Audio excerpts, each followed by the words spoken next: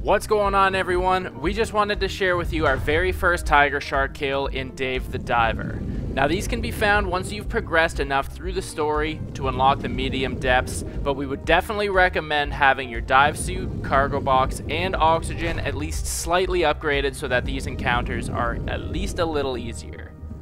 Now the meat from this shark will slow you down dramatically as it weighs a ton. So you're going to want to make sure that you're fighting it while your oxygen is full and your inventory is relatively empty, unless you're near an escape pod for a quick exit.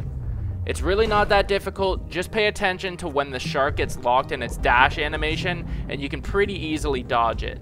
This beast is going to take quite a few shots though, especially if your weapon isn't enhanced, but it can be used for some pretty fancy recipes at Bancho's Sushi Bar in the early game. For more Dave the Diver content, be sure to subscribe to Friendly Frenzy Games on YouTube.